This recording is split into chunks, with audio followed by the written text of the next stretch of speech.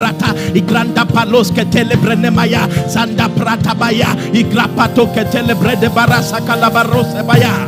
Mandegele de Mosekele de Broskatala de Bababa. Membro Gandoja Kele de Boroko Tosekele ni Manangle de Broda Zekele de Bruna Katala de Baba. Legere Gedesh Katele de Brono Gozo Kola de Boroko Tosketele de Bere Ketene Keli Anama. Membro da Zekele de Broda Katala de Bambre Gadigele de Mosa. Nangra Gadoja Kele de Boroko Tosikele di Barakata na Nakile Nemanga. Ege bojekele de broda zekele de bruna katala de bambre gedegele di baya. Membro de jokolo de broda gelebe lege nemo zokolo de boro koto sikeli de barakata nikeli na managea. Ege bojekele de brina katale de bambre. Rakoto bile de bambre negele de bambre negedegele ne mozo toli de barakatana. Eh, majekelene. Eh, mejekelene merekete negelina managaya. Ege bozokolo de brina kata. Thank you, Father. Blessed be your holy name. In the name of Jesus. Father, we rejoice that we have access into the deep things of God this morning. Thank you for the privilege we have to fellowship with one another in the light of your word. We walk in the light even as you are in the light, and our fellowship is in the light. So I ask that as your word comes with clarity, an army is rising all over the bloomable planet men, men and women that are focused, dedicated, and passionate about the advancement of your kingdom. And we rejoice that disciples are raised. We rejoice that souls are saved massively as the gospel continues to go forth with power and authority. Thank you that your people are being equipped and the body of Christ is the better for it. Jesus is glorified. In Jesus' precious name. And every believer says a powerful amen. Lift your right hands to heaven. Let's release our faith together this morning as you say these words I am born of God. I am born of the Word. The Word of God is my nature. I do not struggle to do the Word, I do the Word naturally. Therefore, today, I will understand the Word of His grace. I will be built up. By the end of this service, I will never be the same. Never, ever be the same again. In Jesus' name. And every believer says a powerful amen. We want to welcome everybody connected to this service all over the world on Facebook, YouTube, and Kingdom Life Network, and all our campuses. We're glad to have everybody connected. And we rejoice that the word is going to build you up and you will never be the same again. Can I have a powerful amen? Are we excited about the privilege of learning every day and growing? Can we give the Lord a praise this morning? Glory! Hallelujah. You can be seated in the heavenlies. Let's get in the word of God this morning. Now, just as we're getting the word, I want to also say this both for our TV audience and our social media audience. We within this conference, we intentionally decided to allow you to be a part of the prayer. It is intentional because the training is holistic. We are not just training you to know the word of God, we're also training you to pray together. If you observe carefully in the book of Acts, there were a lot of congregational prayers. Even the day of Pentecost happened while they were together in one accord, in one place, praying. And throughout the, the, the book of Acts, apostolic, apostolic tradition or part of apostolic tradition is to pray together. It's not a device to while away time. It's not a device to, uh, to you know, waste time or to wait for people or something. No, prayer, it's part of the plan. It's part of the training is part of evangelism, is part of discipleship. Jesus took his disciples to pray. He get, got them to pray in a place and he went further to pray. It was a tradition among the apostles. The Bible says they were together in one place. The Bible says when they went out to preach and they were persecuted, they came back to their company and reported. And then they lifted up their voices to God with one accord and said, Lord, thou art God. They lifted up their voices together in one accord. It was an apostolic tradition. So every time we ask you to pray together with us and we give you the privilege of being a part of the prayer service here, it is it is intentional. We want you to join us in praying because you're a part of this house. Moreover, it's important to also note that you cannot have a successful ministry without a prayer life. You cannot have a successful evangelism without prayer. Prayer generates power that makes the word of God easy to be received. So please, it's important, you know, through this training. Before now, when we just come to the service, we just get into the word, and but in the, because we are training, and every time we're doing a training conference throughout this year, we will make sure you are a part of the prayer session because that is part of the training. Can I have a powerful amen? All right, we're looking at a demonstration of the spirit and power, how the gospel is preached. How the gospel is preached. We have established how that the gospel must not be invented. The gospel must not be invented or innovated. We don't invent what to say, we do not innovate what to say. We say what we have been asked to say. We say the Bible or the gospel is not subject to what you think. We also established that the gospel is not subject to historical facts being proven. We also established that the gospel is not archaeological facts being discovered. Yesterday we said that the gospel is not scientific confirmation. The gospel is Christ's history told by the Spirit alone. The gospel is Christ's history told by the Spirit alone.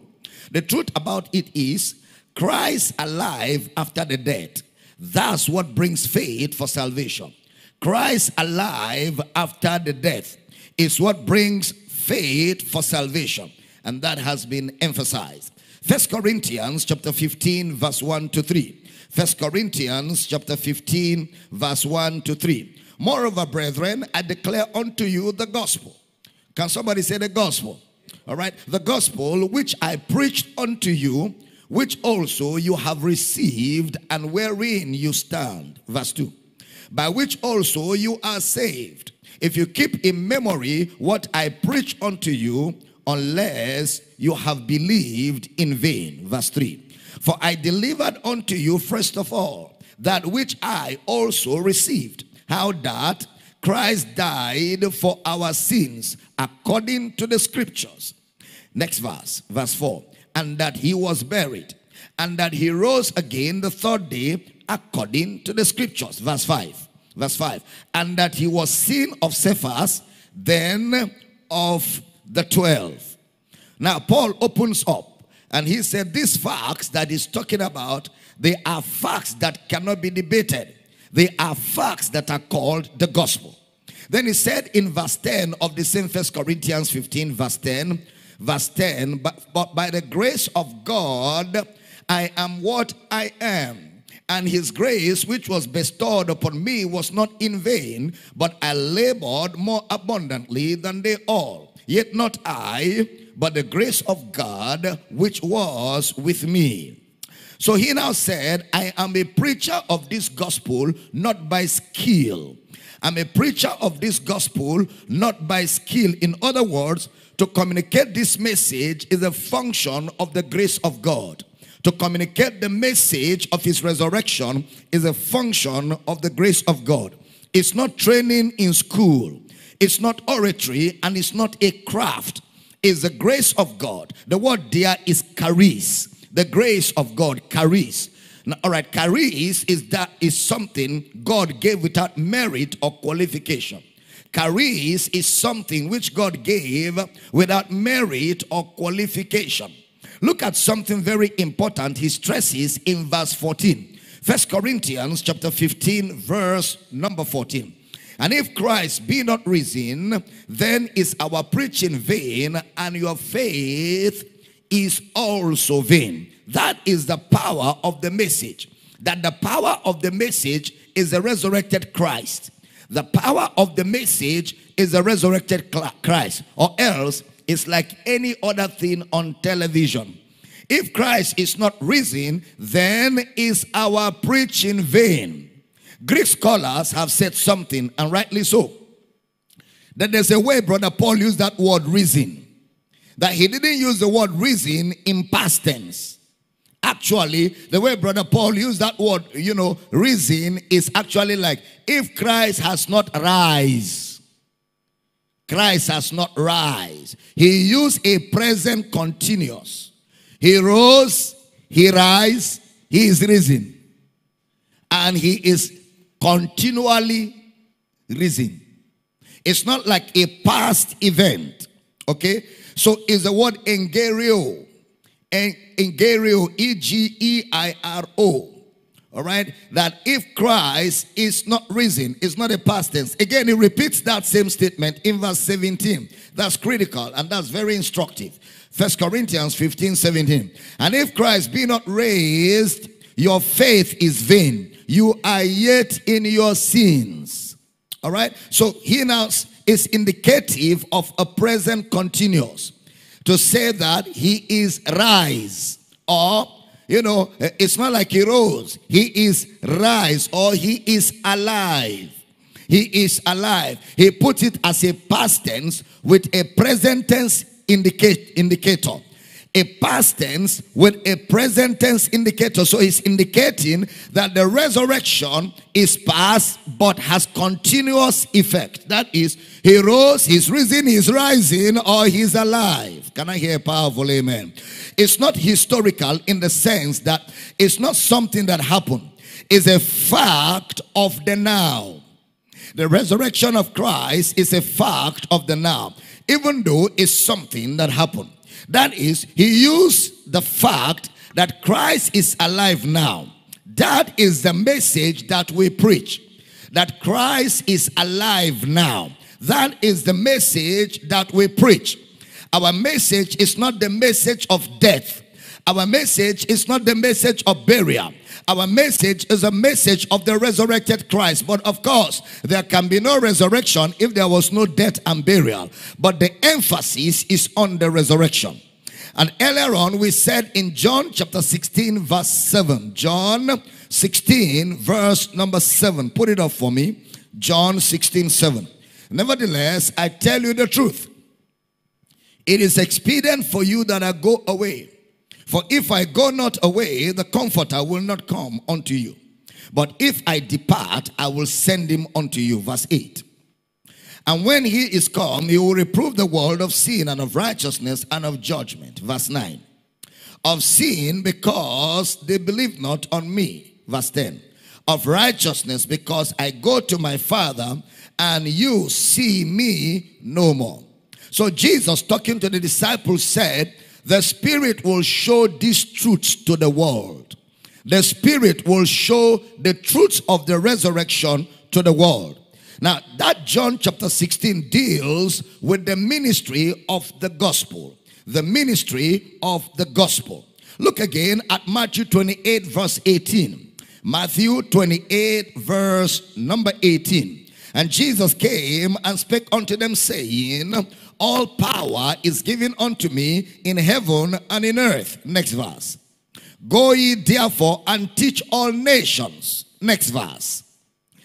Go ye therefore and teach all nations, teaching them to observe all things whatsoever I have commanded you, and lo, I am with you always, even unto the end of the world. Go ye therefore and make disciples Go ye therefore and make disciples. And we say the word disciple is the word matheteuo.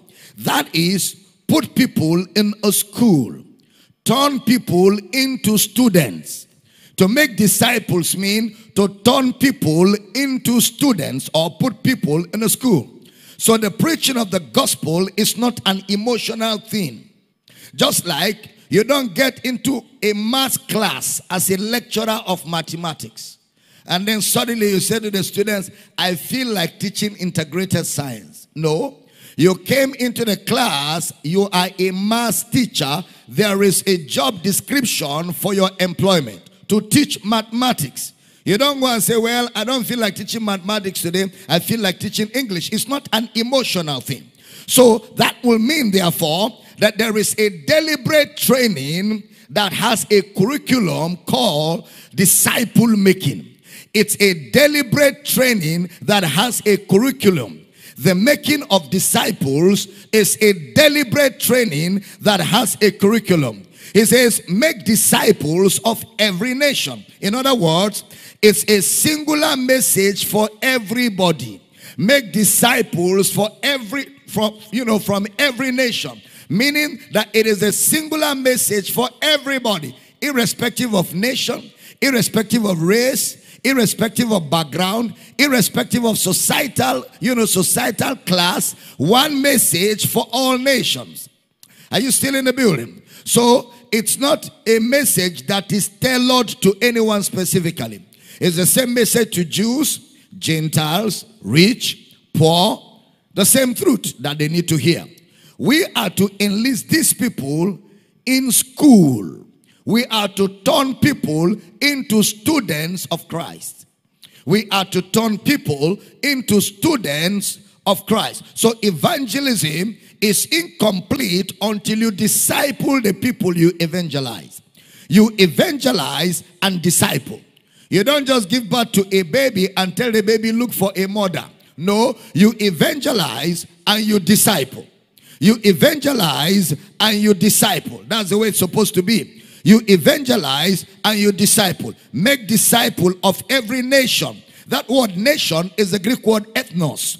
Ethnos refers to people from different backgrounds, language, culture, and tribe. Ethnos, ethnic, ethnos.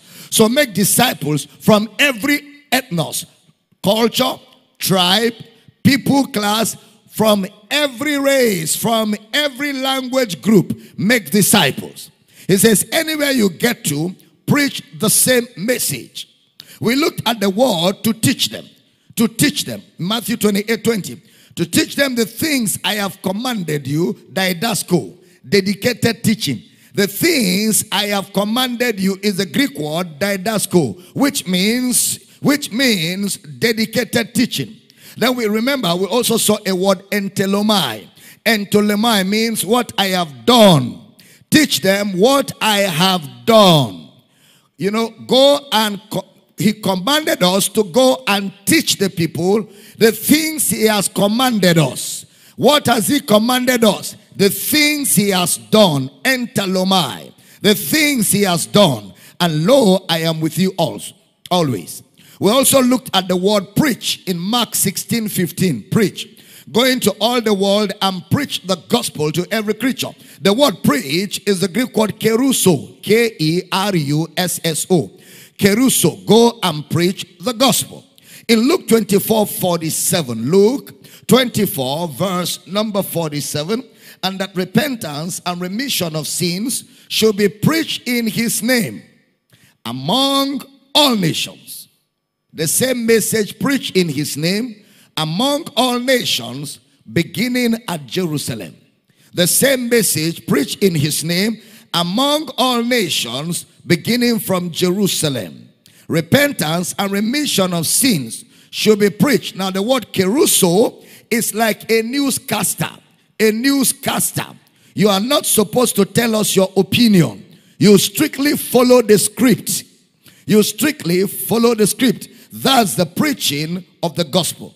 You are not supposed to add skill or entertainment to the preaching or a viewpoint to it or an experience.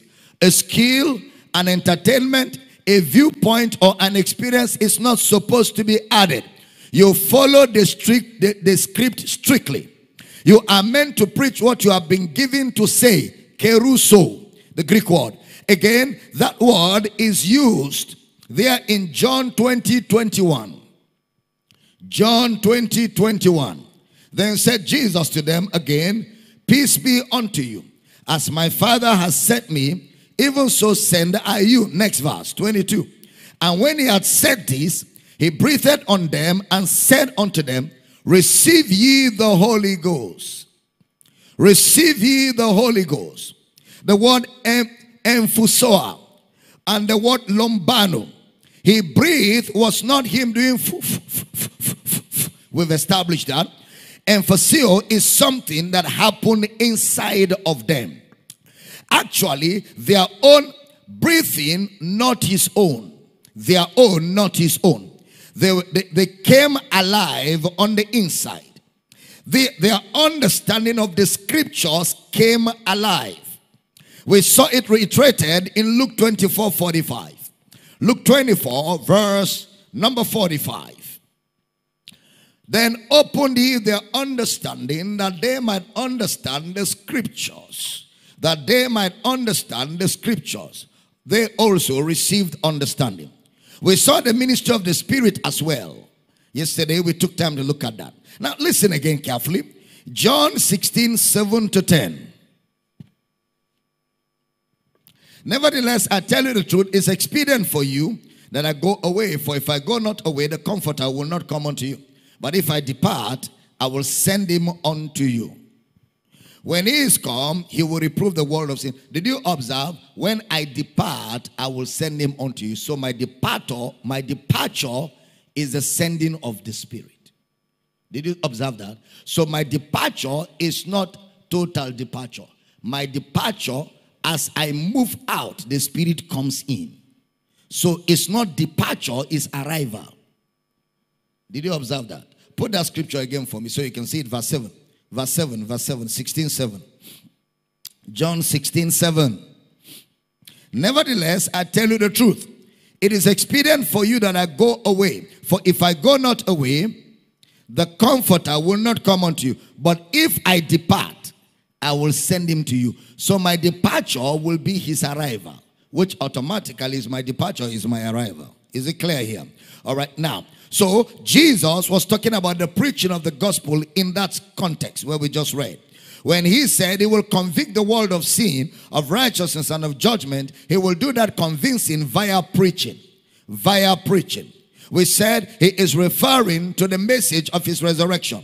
We read that in John 15 25 to 27. He was relating with the resurrection and with the ministry of the gospel. It has nothing to do with a personal revelation or a personal experience or a personal encounter. It's a preaching of the gospel. It's a fact that the gospel is a message. Please write down. It's a fact that the gospel is a message. The gospel is a message. Is a fact that the gospel is a message. It is not a reaction.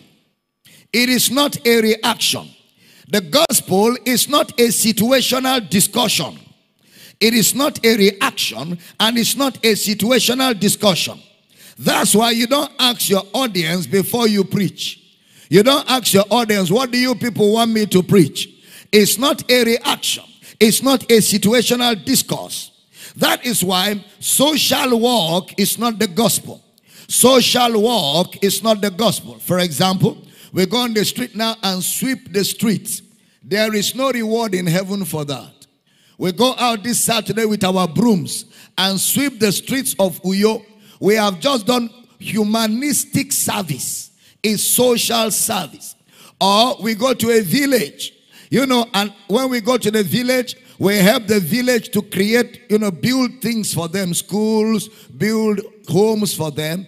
A social service which the Lions Club do and other societal organizations do because it's humanity.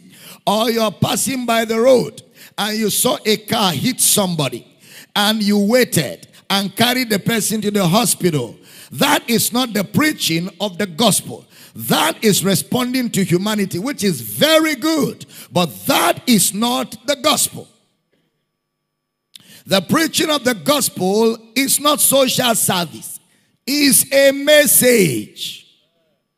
The gospel is a message. Please, this is very important. The gospel is a message.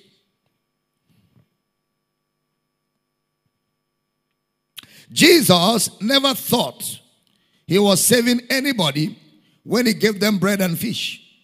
It was not for salvation he gave them bread and fish. He so that they don't faint on the road. He was just being human, you know. He was just being human. He said, ah, ah, ah, we have finished preaching the gospel now. But the way these people are looking, they could faint on their way home. Do we have any food for them? He said, no, we don't have any food. Oh, Jesus, please just let them go like that. He said, no, they can't go like that. They can faint on the road. Anybody with bread and fish, yeah? Anybody with something? And the little boy offered his lunchbox. Jesus multiplied and gave them a miracle. They all ate, they were full, and they were able to go home. That's humanity. That's not the gospel. Feeding people is not the gospel. Breakfast service is not the gospel. Calling people for afternoon lunch is not the gospel. The gospel is a message. The gospel is a message. But you can cook food and invite people to eat, and while they're eating, you preach to them. But don't ever, don't ever substitute the message for a societal service. Don't ever substitute the message for social service. All right? So, the facts of the resurrection is the message itself. The facts of the resurrection is the message itself. The facts in its raw form, unadulterated, unrevised. That's the message. So Jesus, therefore, gave an empowerment for this message. Luke 24 49. Tarry in Jerusalem until you be endued with power from on high. Acts 1 8. You shall receive power after the Holy Ghost is come upon you. We said that. That means that the message and the ability to communicate the message are given. The message and the ability to communicate the message are given. You don't generate the message and you don't seek for the ability to preach it. But the message and the ability to preach the message, they are all gifted to us as a work of grace. You don't say, Well, what can I do to preach the gospel? Nothing. Just preach it and preach it according to the script. It's what He has given us to preach the gospel with. We don't devise. We don't devise. We don't try to create what will sound nice. We don't try to make the message appealing. We don't try to make the message attractive. We give it the way it has been given to us. You are no wiser than the message giver. The way he gave us is the way we preach it. We're going to see a few things in a moment. We said that in the days of Jesus, there were sports, there were creative arts, comedy, entertainments, all were available in Jesus' day. But he never used any of it for the preaching of the gospel. Not even when he taught parables. Even when he taught parables, he didn't call comedians to come and make people laugh. Even when he taught parables, he didn't call entertainers to come and entertain the crowd. Even though he said their IQ was low, yet he never substituted the gospel for entertainment. Am I preaching here? Yeah. There was, there, I mean, the, the best was available in his time. They had the best in his time in the Roman Empire. They are the best in his time among the Greeks. They are the best in his time. Yet, he never used any of those arts as a substitute for the preaching of the gospel because the gospel is not just a message, it has its own method. The gospel is not just a message, it has its own methods. The gospel didn't just say, I mean, the gospel don't just say is a message. How we preach it may differ. Uh-uh. The gospel is not just a message that we can preach it anyhow we like. No, it has its own methods. The message has its own method. There is no such liberty given to anybody to preach it anyhow he likes. Of course, you know that no matter the age of a lie, it doesn't make it a truth. A lie remains eternally a lie. That something has been on for a long time doesn't make it right. That preaching people have been preaching it their own style doesn't make it right. All right? What what what it's supposed to be will be what it is supposed to be forever. Amen. So he says, Go. Go into all the world. Go into all the world. But he didn't just say go, he said, You'll be endued with power. There is power for going. You shall receive power. Receive ye the Holy Ghost.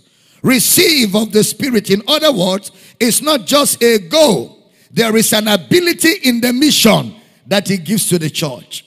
There is an ability in the mission that he gives to the church. I want to repeat that. There is an ability in the mission that he gives to the church. So, firstly, there is a message and that message does not differ from person to person.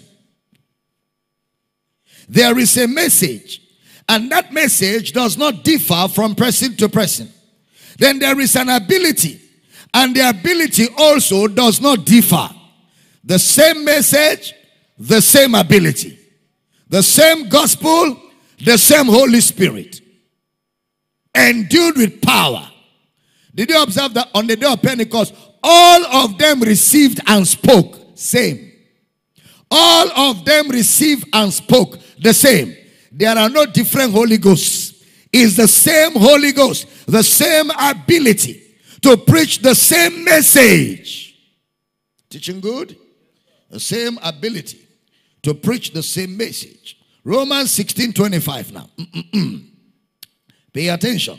Romans 16 25. Now to him that is a power to establish you according to my gospel and the preaching of Jesus Christ. Let me ask you again the question I asked yesterday. What is the gospel? Can I hear you louder? What is the gospel? Can I hear you like you have some life this morning? What is the gospel? The preaching of Jesus Christ according to the revelation of the mystery which was kept secret since the world began. Next verse. But now is made manifest, and by the scriptures of the prophets, according to the commandment of the everlasting God, made known to all nations for the obedience of the faith. The preaching of Jesus Christ is the Greek word kerusso. To announce like a town crier or to announce like a newscaster. Then preaching here in Romans 16, the preaching, my gospel, which is the preaching of Jesus Christ. That word preaching there in Romans 16 25 is the word kerugma, a noun of kerusso. Kerugma, K E R U G M A. Kerugma is the noun for kerusso.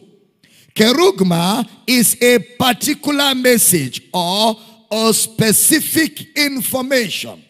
That means the message is specifically the message of Jesus Christ. The message is specifically the message of Jesus Christ. A definite message. It doesn't change with time. It doesn't adjust with situations and is the same for all nations. It doesn't change with time. It doesn't adjust for situations and is the same for all nations. You know, the other day I was watching something and I got excited uh, on, on, on, on, on my device. They are coming out with an invention, or they have actually come out with it. It is called hologram. Hologram is part of this uh, artificial intelligence. What the hologram does is that if I put on the hologram and I stand here and I want to preach in Japan, okay, once I put it on, what I am saying, the same me, the same my voice, will be speaking Japanese to the Japan people, and they will hear me preaching as I'm preaching to you in English, and they will see the same me preaching to them in Japanese, in Chinese, in Arab, in India, in all the languages around the world. It's called hologram. That's a powerful invention for the gospel. That's a powerful one. People think while we're looking for money, we will buy such things. Amen. That's why we need money to get the gospel out there. Hologram. The hologram. It's a, it's a discovery that's, that just came out. I, I watched the demonstration of it and I was just excited. We can get the gospel to dialects. We can get the gospel to people, languages all over the world, Spanish, you know, French, and all the different languages around the world. One, the man, you just put on the device and you start talking. And suddenly you're speaking their language. The same person speaking their language without any alteration. It's not like uh, lip syncing. It's the same person speaking it. Isn't that wonderful? I say, isn't that wonderful? You know, I, mean, it, God is giving people creative ideas to make this gospel get everywhere so nobody has an excuse not to be built up in the message of Christ. You know, some of the way we preach and teach this world, you'll be wondering how can an interpreter cope? God has solved the way an interpreter can cope. Because if you have an interpreter, sometimes you preach, you will summarize it. You will just summarize it. When you drop one heavy statement, the interpreter will say, just like he said. Let's move on. but now, every language on earth can have the privilege of hearing everything properly articulated. God punished the devil. Can somebody shout hallelujah? So that, that, there's a definite message that cannot be adjusted. It doesn't adjust with situations, it's for all nations. Paul uses the word the revelation of the mystery. When he uses that word preaching, It is used by Jesus Christ himself. It's not just Paul that used the word kerugma. Jesus used that word in Matthew 12 41. Matthew 12 41, Luke 11 32. Put up Matthew 12 41 for me. The men of Nineveh shall rise in judgment with this generation and shall condemn it because they repented at the preaching of Jonas, the kerugma of Jonas. And behold, a greater than Jonas is here. It's repeated in Luke 11 32 for the preaching of Jonah, the message of Jonah. And you will see the message of Jonah in Jonah 3 5 and Jonah 4 1 to 2. You will see the message of Jonah in Jonah 3 5 and Jonah chapter 4, verse 1 to 2. They repented at the kerugma, the preaching of Jonah. Are you still in the building? The preaching of Jonah. In other words, it was a specific message. Jonah went to tell them about the kindness of God. Not when I get there, I shall know what to say. No. In evangelism, don't just go and say, when I get there, the Spirit will tell me what to say. No. It is a prepared message that you are already aware of before you get there. Because the message is one. The message is one. Before I get there, I have been given what to say. I won't be intimidated by the intellect I meet, or their literacy, or their stiff nakedness. It has no bearing at all. I will preach it the way it's given. It's a message that has no alteration based on the situation. He says, the preaching of Jesus Christ. The preaching of Jesus Christ. Are you still in the building? The preaching of Jesus Christ. Now, in First Corinthians 121, you will see Brother Paul. First Corinthians 121. For after that, in the wisdom of God, the world by wisdom knew not God. It pleased God by the foolishness of preaching to save them that believe. It pleased God by the foolishness of preaching to save them that believe. That word, the foolishness of preaching, is the kerugma, the specific information of preaching the inf specific information of Kerusso. The specific information that the town crier is announcing. All right, now, Brother Paul will use that word very frequently. Look at First Corinthians 2, verse 4. First Corinthians chapter 2, verse number 4. And my speech and my preaching was not with enticing words of man's wisdom, but in demonstration of the Spirit and of power my speech and my kerugma. Specific information. Specific information. First Corinthians 15 verse 14. Kerugma. First Corinthians 15 14. And if Christ be not risen, then is our preaching vain, and your faith is also vain. How many of us have gone to deliver a message before? Have you ever been sent to deliver a message before? And then when you arrive there, you say to the people, what they asked me to actually bring here, I have changed my mind. I've changed my mind. After looking at you people, I have changed my mind. I will do another thing. No, no messenger behaves like that. When you are sent to take a message, you take, you take it there, you deliver it, and you find your way. True or false? Preachers are message carriers. And there is a specific message we have been sent to deliver. And when we go to people, we deliver the message. Their reaction, notwithstanding. Their disposition, notwithstanding. How they keep their face.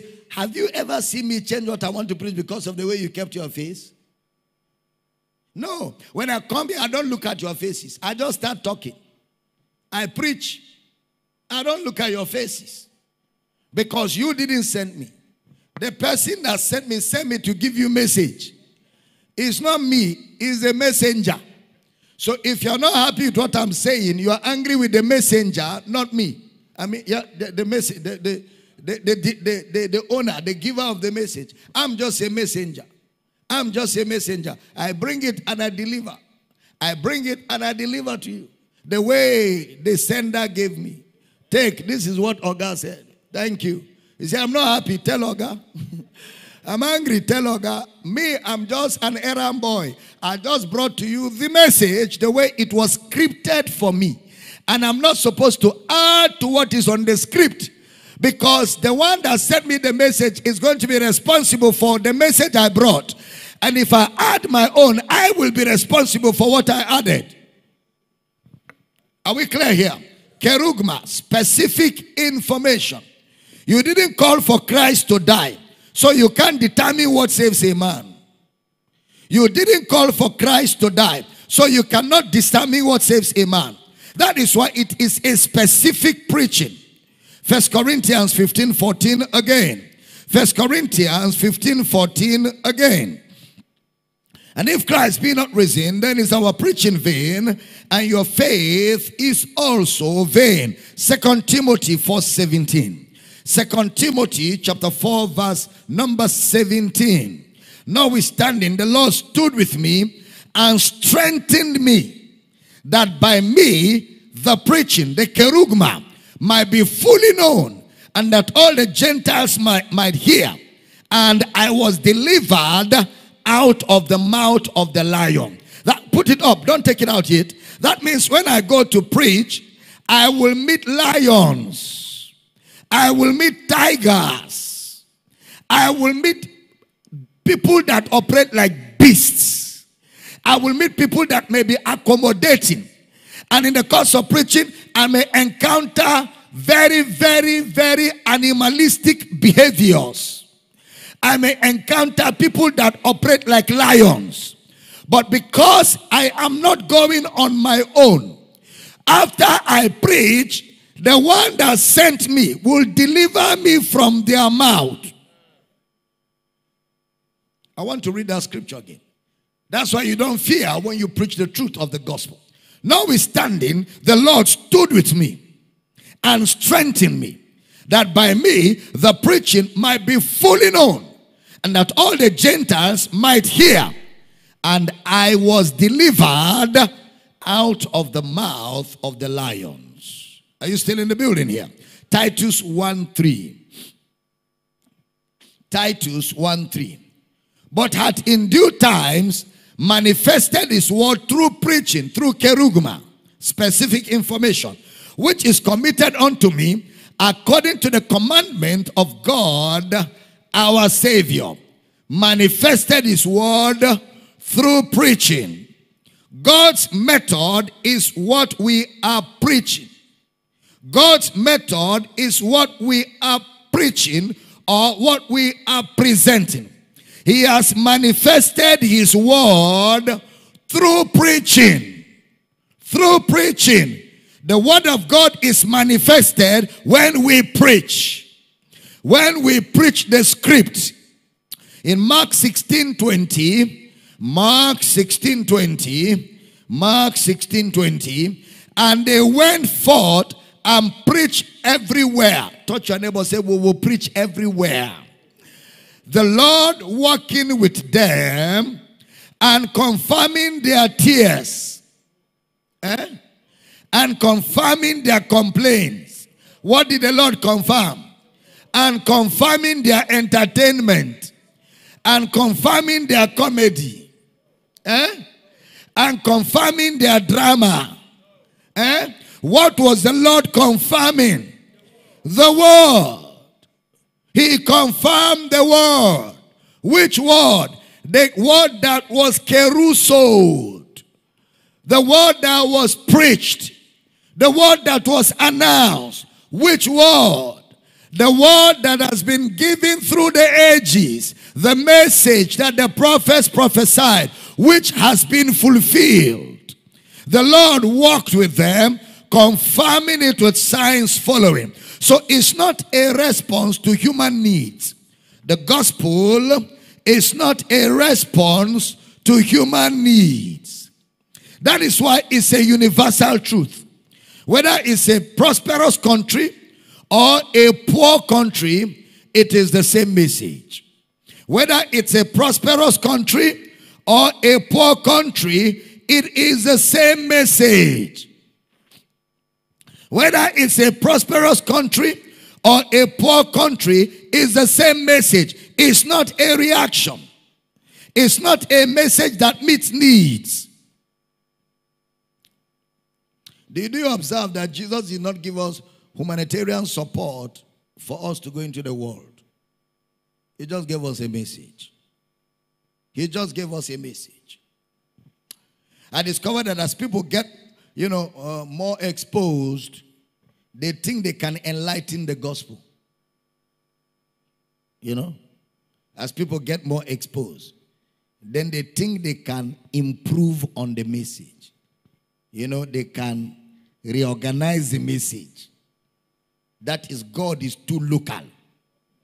Uh, the word of God needs enlightenment. They can reorganize it. As people begin to travel around, then suddenly they feel like the gospel is too archaic. The gospel is not a response to human need, it's a specific message. Jesus is so focused. In Luke 12, 13 to 14, look at something here that will interest you. Luke 12, 13 to 14. And one of the companies said unto him, Master, speak to my brother that he divide the inheritance with me. Next verse. And he said unto him, Man, man, who made me a judge or a divider over you? See the focus? Jesus is so focused. They brought to him extracurricular assignment. He said, That's not my job description. I didn't come to help you share the profit of business. That's not my job description. The guy is so focused. Is it wrong to settle dispute? No, but that's not the gospel. Settling people's quarrel is not the gospel. It's not wrong to settle it, but don't call it the gospel. Then look at verse 15, what Jesus will say to these guys. That Luke chapter 12, verse 15.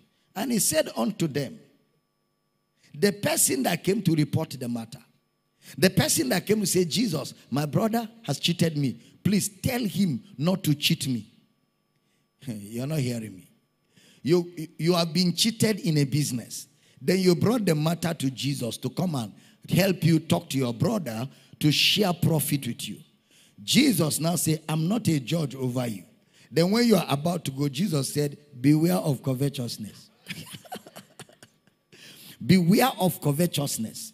For a man's life consisted not in the abundance of the things which he possesses. That as you're going, beware of covetousness.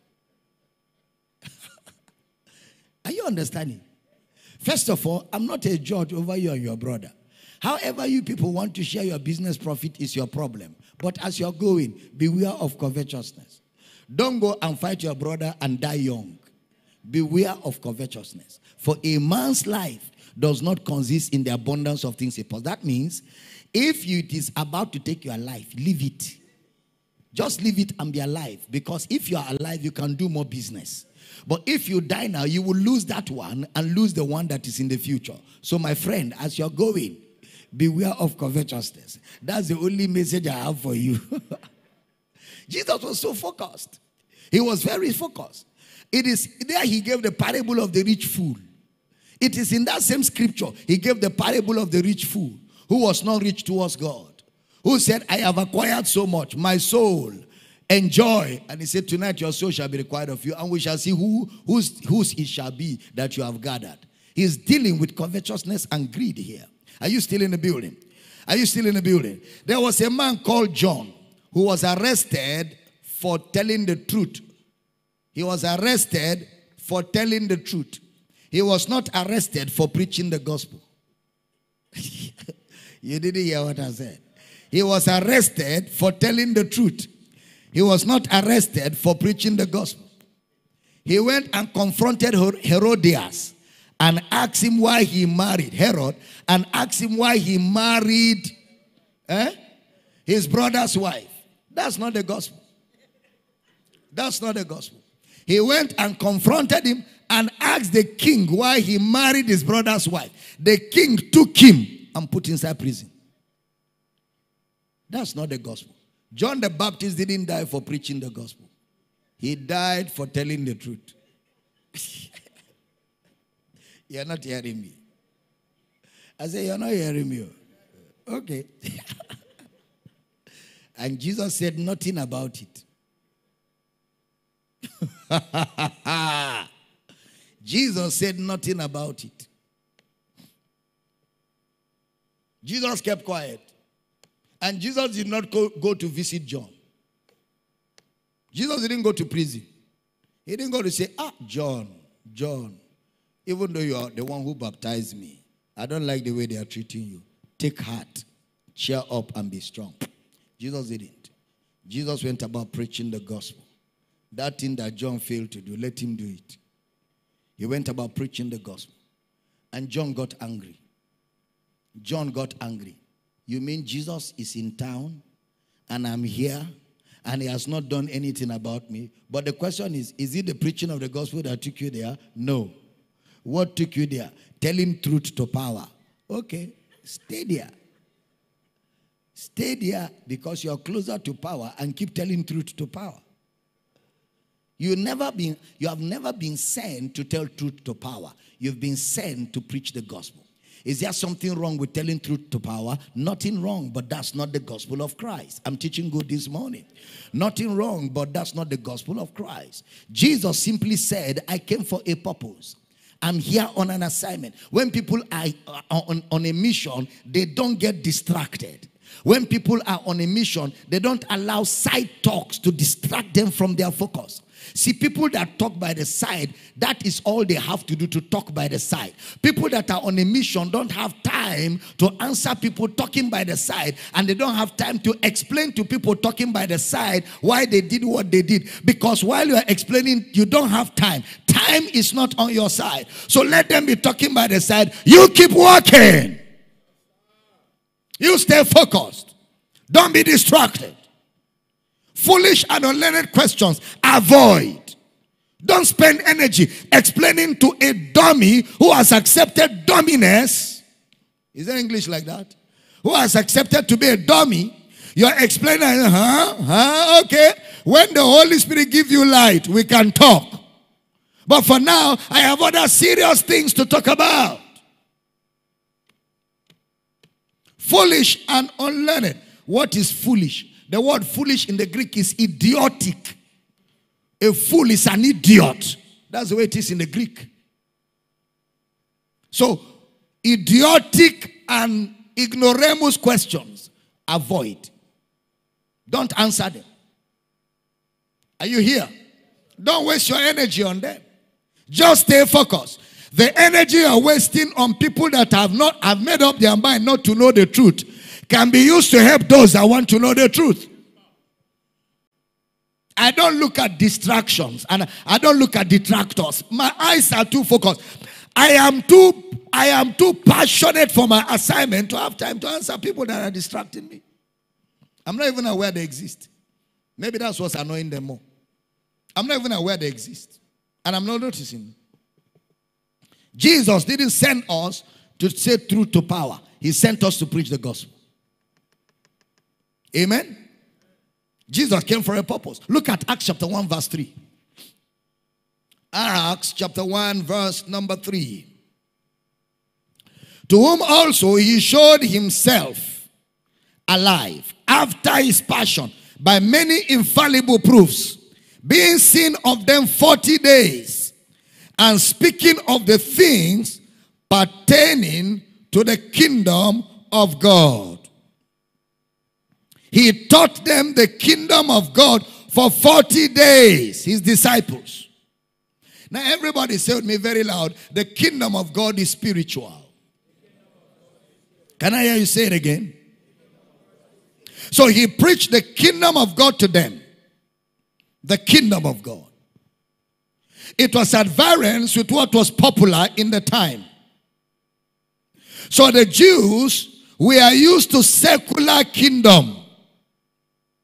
After Jesus had finished all his meetings, they were used to secular kingdom. After Jesus had finished all his meetings, he now told them in Acts chapter 1 verse 5. Put it up. Acts chapter 1 verse 5.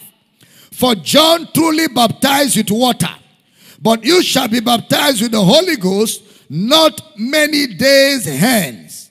I have given you the message 40 days 40 days. I've been teaching you for 40 days. But there is power to preach the message. You shall be baptized with the Holy Ghost. For the message I have taught you, power is coming to enable you preach the message. Are you still in the building? Now, look at verse 6. Look at their response. Verse 6. When they therefore were come together, they asked of him, saying, Lord, when will thou will thou at this time restore again the kingdom to Israel? The word restore is apocat, apokathistemi. A P O K A T H I S T A M I in the Greek. Used for, for regaining something that was lost. Regaining something that was lost. At this time, their need was that they were under a tyrant and they wanted freedom politically. They didn't want the tyranny of their king. So when Jesus was talking about power, they were asking Jesus if he was going to regain for them political freedom. In their mind, Jesus' mission was to restore political kingdom.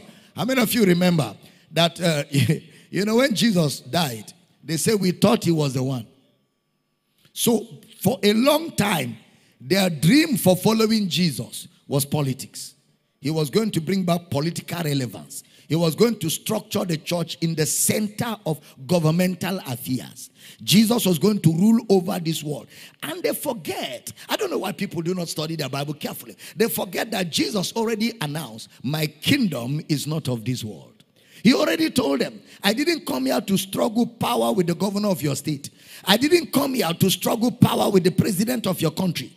I didn't come for any of those. I have a kingdom that does not come by observation. I have a kingdom that is not a physical system and structure in the society. My kingdom is not of this world. Say it again with me. The kingdom of God is spiritual. Say it one more time. So they were watching, waiting for Jesus to restore political power. That word apokathistemi, you can see it in Matthew 12, 13, Matthew 12, 13, Matthew 17, 11, Mark 3 5, Mark 8 25, Mark 9 12, Luke 6 10, Hebrews 13 19. Hebrews 13 19. Give us what was existing before you came. Restore to us political relevance. Restore to us business opportunities. Restore to us, you know, the empire. Restore to us the military. Make us relevant. Give us societal control. Make us to take charge in entertainment. Make us to take charge, you know, in the media. Restore to us the power. That is what their need was. That is what their need was. And Jesus did not try to meet their needs. He did not try to meet their needs. He actually ignored what they were talking to him about. He didn't pay attention to what they were talking to him about. Look at chapter 1, verse 7 of that same Acts. Acts 1 7. Acts of the Apostles. And he said unto them, It is not for you to know the times or the seasons which the Father had put in his own power. Watch carefully. That was Jesus' response. Now, for you to know, it is not, that word not is the Greek word O-U-K. It is not for you to know that word not is the Greek word O-U-K, emphatic negative. It is no, no, no, no, no. Emphatic negative. It is no, no, no, no, no. Meaning it is not going to happen. Restoring the kingdom to you is a no, no, no, no, no. It's not going to happen. Then he now answered them. He now changed their focus in verse 8. Look at verse 8 of Acts chapter 1. But you shall receive power after the Holy Ghost is come upon you, and you shall, the power is not to go and fight government position with the governor. The power is for you to be a witness unto me in Jerusalem, in Judea, in Samaria, and unto the uttermost part of the world. You shall receive power. So he made a distinction between their kingdom and his father's kingdom. He told them, It is not. Now take note of that word times and seasons, okay? Give me that verse again because I want to explain something there. Verse 5. Acts 1 5. Acts 1 5. Give me verse, verse, verse, verse 6. Okay. When they therefore were come together, they asked of him, saying, Lord, will thou at this time restore again the kingdom to Israel. Next verse now, observe. And he said unto them, It is not for you to know the times or the seasons. The word time is the word chronos. Chronos. An arrangement or an order. The, the meaning of that word chronos or time, arrangement or order has to do with the prophecies of the prophets the incarnation, the death, the burial. they were looking for times. Jesus gave them the times of the prophecy, chronos. He, he, he took them from physical time and brought them to prophetic calendar of the prophecies. When the fullness of time was come, God sent forth his son made of a woman. So even when the time comes, it is not going to be for restoring power. It is going to be for the manifestation of God's prophetic agenda, which is death, burial, and resurrection. I'm teaching here. So he said to them, Times are in the Father's hand for the fulfillment of redemption. Then he talked about seasons, which is kairos, opportunity. It's not, it's not for you. No, no. The Father's plan is death, burial, resurrection, incarnation. That is all that is in the Father's agenda for you. My kingdom is not of this world. That's why he used the emphatic negative. Then he now re-emphasized, you shall receive power. What you already told them in verse 4 and 5. Look at it. Acts chapter 1, verse 4 and 5. Acts 1, 4 and 5. And being assembled together with them, commanded them that they should not depart from Jerusalem, but wait for the promise of the Father, which saith he, You have heard of me. Next verse. For John truly baptized with water, but you shall be baptized with the Holy Ghost not many days hence. Verse 8. But you shall receive power. He re-emphasized. He re-emphasized the promise of the Father. You shall receive, and you shall be witnesses. You shall be the bearers of what I have done. A witness is a bearer of what Jesus has done. You shall be a witness of what I have done. Again, they were to preach a specific message, what he has done. Check the sermons in the book of Acts. Nothing was said in the book of Acts about Israel. Nothing.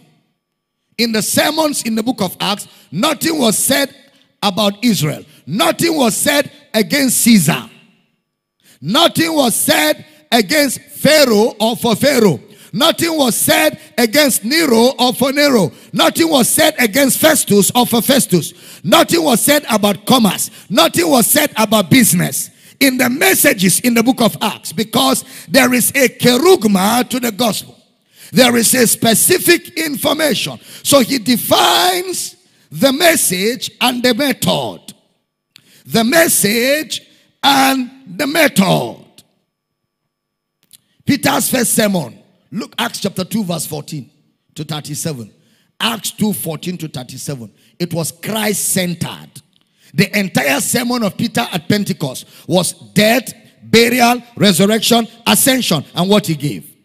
As soon as he quoted Joel in Acts chapter 2, as soon as he quoted Joel, he began to explain Christ. Look at Acts chapter 2, verse 21. Acts 2 21. Peter's sermon. And it shall come to pass that whosoever shall call on the name of the Lord shall be saved. 22. 222. Ye men of Israel, hear these words. Jesus of Nazareth, a man approved of God among you by miracles and wonders and signs, which God did by him in the midst of you, as you yourselves know. As you yourselves know. And he stayed on that. He kept talking. He kept talking. He kept talking. He kept talking about the death, burial, and resurrection. Then in verse 37 of Acts chapter 2, Peter's sermon, 37 of Acts chapter 2. Now, when they had heard this, what did they hear? Death, burial, resurrection, and all that has happened to Jesus with all the prophets he was referring to because the message is one. They were pricked in their heart and said unto Peter and to the rest of the apostles, Men and brethren, what shall we do? Men and brethren, they were pricked in their heart when they heard about Jesus, when they heard the message of Jesus. That word pricked, that word pricked is a Greek word katanuso. K A T A N U S S O. Katanuso. To be pierced by the side. To feel a pain or to have a feeling. Let me ask all of you a question. How many of you have ever received an injection before? How many of you? Because there may be some people that have never been injected. I have received many in my lifetime. If they count my number of injections, it can be shared for everybody in this house. Especially when I was young, coming up, and all that. All right, so I've received a lot of injections in my life. Now, when they inject you, when they inject you, is there a pain? Or you wouldn't know? No matter how skillful the doctor or the nurse, you will still feel something. Some of them are not skillful. You will feel everything. and I don't like such people to try it on me. You will feel everything. And some of them, they will choke the first place, choke the second place, and be telling you sorry, and be cleaning it. Then they will clean it again and say, wait small. Then they will choke again. At that time, they will make you feel the pain more. But there are some people that are very skillful. By the time you turn and they clean the place, the needle has gone in. But you will still know that something entered. Is that true? You may not feel pain, but you will know that something has entered. That pricking, that pricking is how it happened to their heart. The message pierced them. They felt the piercing. That's the word pricked. They were pricked. When you preach the message by the power of the Spirit, people's hearts are pricked. Are you still in the building? When you preach the message by the power of the Holy Spirit, people's hearts are pricked. Matthew 27 49. You'll see the use of that word katanuso. Matthew 27 49. You'll also see it in John 19 34. Used for the crucifixion of Jesus. How they pierced his side and you feel it. If you observe, he never addressed individual issues. Peter never addressed individual issues. He preached Jesus. He never talked about their situation changing. He never talked about their finances improving. He never talked about any other thing. He preached Jesus and they were pricked in their hearts. which is the direction of the Spirit's work, the hearts of men. When the right gospel is preached, the Holy Ghost works in the hearts of men. Notice their response was the same 3,000 people, one response. Sirs, what must we do? 3,000, one message, the same response. When the message is right, it will be the same response all the time. One message, 3,000 people, same response. Sirs, what must we do? He answered, Repent. Repent. The word repent is the word to change your mind. Change your mind. The word metanoeo. M A T H E N O E O. Change your mind. Exactly what Jesus did to them in Matthew 20, I mean in Luke 24 45 to 47. What Jesus did to them in Luke 24, 45 to 47. So what, what just happened? in Acts chapter 2. Did Peter say anything extraordinary? No. Peter preached what he was told to preach. But the event he described in his preaching was extraordinary. He didn't say anything extraordinary. He preached what he was asked to preach. But the event he described in his preaching was extraordinary the death, the burial, and the resurrection. So it is not in the way the message is preached, it is in the content of the preaching. Are we still in the building? That's why it's a kerugma.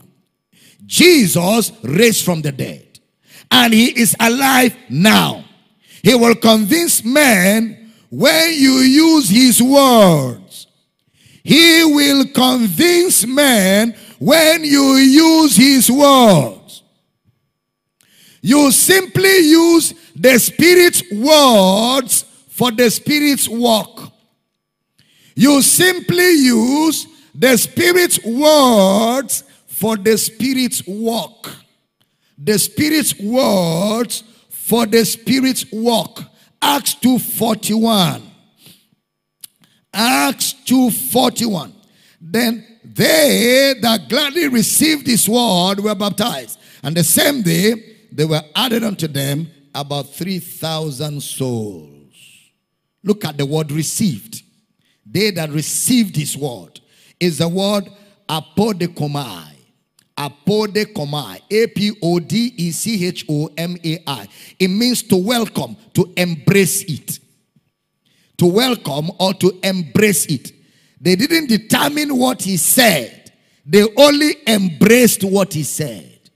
They didn't influence what he said, they received what he said.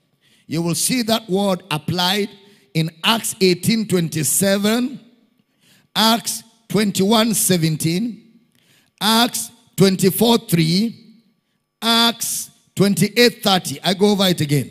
Acts 18 27, Acts 21 17, Acts 24 3, Acts 28 30 to welcome, to embrace. They embraced what he said, and there was no excellency of speech in what he spoke.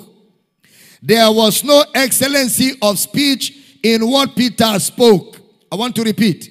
There was no excellency of speech in what he spoke. In fact, there was no oratory in what he spoke. And I'm sure somebody's going to say, How do you know? In a short while, you will know how I know. Acts 4:13. Acts 4:13. Now, when they saw the boldness of Peter and John and perceived that they were unlearned and ignorant men, so that will show in the way he preached. His illiteracy, his ignorance, and his lack of excellency of speech, his lack of eloquence, his lack of oratory will show in the way he spoke. Put it up. Peter and John and perceived that they were unlearned and ignorant men. They marveled and they took knowledge of them that they had been with Jesus. The priests were angry. How can these illiterates take over the whole place? They are not even polished. They are not even skilled. They don't even have oratory. Yet, the people are listening to them in thousands. For 3,000 people to answer an altar call, it will show you how many were in the place. They held the city bound by the message of Christ and by the power of the Holy Spirit. When you preach it right, you will see people coming to salvation. What are you talking about? Somebody say, I've been preaching, nobody has accepted. You, examine what you're preaching. Because if it is preached well, it will be the same response all the time. People will be pricked in their hearts. If the message is right, people will be pricked in their hearts and people will get saved. People will be pricked and they will get saved. Because it's not you, it's the Holy Ghost at work. The Holy Ghost made the difference. The Holy Ghost made the difference. In chapter 3 of Acts, they preach the same thing Christ. In chapter 5, verse 30, put it up for me. Chapter 5, verse 30, Acts 5 30. The God of our fathers raised up Jesus, whom you slew and hanged on a tree. 31. Him hath God exalted with his right hand to be a prince and a savior, for to give repentance to Israel and forgiveness of sins. Same message. Same message. In chapter 6 and 7, see Stephen. Brother Stephen preached the whole Bible before he died in one service. Acts chapter 6, verse 10. See what Stephen said. Acts 6 10. And they were not able to resist the wisdom and the spirit by which he spake. So the Spirit of God was operating through Stephen as he gave them a chronicle of how the gospel has traveled from the Old Testament to the New Testament. He preached the message, he preached the scriptures, he preached Christ. When we go for evangelism and we preach Christ, the power of the Spirit glorifies Christ in the salvation of men. If, if it's not the message, if it is not the message people are responding to, it is not Christ's salvation. If it is not the message people are responding to, it is not Christ's salvation. And if there is no salvation, there cannot be spiritual growth. No historical facts are being proven. No archaeological facts. No scientific discoveries were said in the message. There was only the history of Jesus told by the Spirit alone. The message of the gospel is a faith message. Write it down. The message of the gospel is a faith message, such that a man has to believe. Such that a man has to believe. If I get healed and you tell me God is good, someone can believe it because no faith is required. If I get healed and you tell me God is good, someone can believe that because no faith is required. But if you tell me that someone died for me, he was buried and he rose, there is no proof, no signs, no marks. But you give me the words of the Spirit. And he comes to me in the words without sensory evidence, just like Abraham. No sensory evidence, no feeling. I believe what I didn't see. Then I have arrived. I am now in Christ. I believe what I didn't see. Then I have arrived. I am now in Christ. Any order is not the gospel. It can draw crowd. It can draw excitement, but it's not faith by the Spirit and it is not salvation by Christ. Any order can draw crowd, it can draw excitement, it can gather people, it can wow people, it can keep people spellbound, but it's not faith by the Spirit. Therefore, it cannot be salvation by Christ. Therefore, it can never be salvation by Christ. When we preach the right word in the power of the Spirit, men are genuinely saved. Salvation is a response to a message of faith. Salvation is a response to a message of faith. There can be no salvation outside that. Salvation is a response to a message of faith. We preach Christ and Him crucified. We preach Christ and him crucified. To those that perish, it is foolishness. But unto us that are saved is the power of God. Unto us that are saved is the power of God. That your faith should not rest in the wisdom of men, but in the power of God. Bless this morning. Are you blessed this morning? Get on your feet. That's all I've got for you in this service. Glory to God. If it is not the message of Christ, it cannot be the salvation of Christ. If it is not faith in what Christ has done, it cannot be genuine salvation. Any other thing that will gather people and make people answer an altar call outside the kerugma of the gospel, then it is not the salvation that Christ offers. Say with me, I am anointed. Say it very loud. I am empowered by the Spirit to preach the gospel to every creature.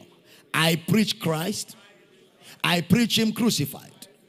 I am empowered by the Spirit to be a witness of the gospel. Can I hear a powerful amen? Lift your right hands. Father, we pray for everybody this morning. Thank you for the privilege of building your people, equipping your people, bringing clarity to your people, and causing your people to rise up to their true identity, to rise up to their true responsibility in spiritual growth, to get the gospel to the nations of the world. And we rejoice for the privilege we have to manifest the glory of God in these last days. Thank you that everyone here is sincere and without offense. Thank you that everyone here is committed and focused on this assignment. Thank you that everyone here is enabled by the Holy Ghost to be a witness of the gospel. And in the name of Jesus, we rejoice that you walk with us, confirming your word with signs and wonders following.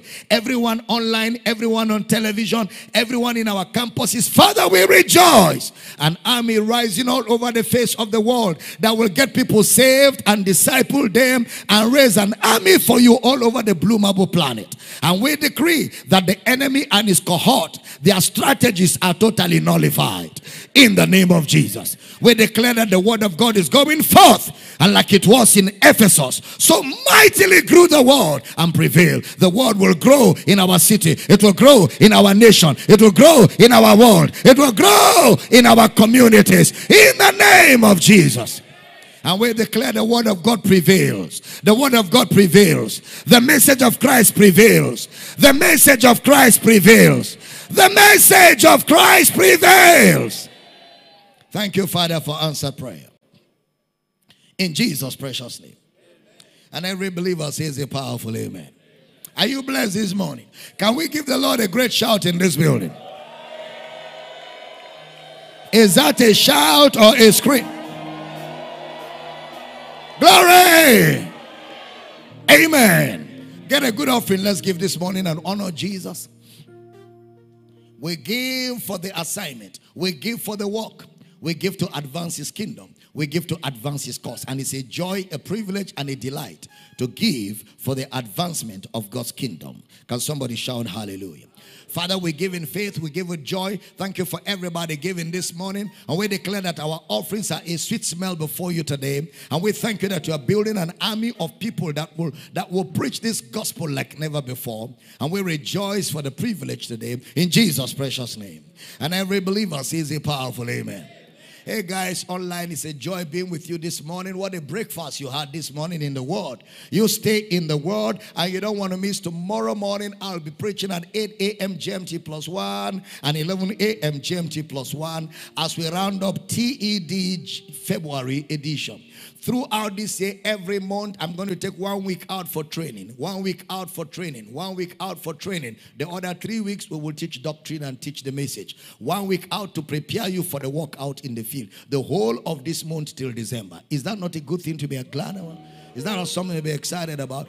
We, we are committed to preaching this gospel all over the world and raising people to do the same all over the world. And we are not going to stop. We are not going to give up until the entire world is flooded with the fragrance of Jesus' grace. Can I hear powerful amen? Enjoy the rest of your day and be blessed. Let's celebrate viewers around the world for being a part of this great service this morning. Glory to God. I said, Glory to God. I say, Glory to God. Hit it, let's do it as we celebrate this morning and bring our offering.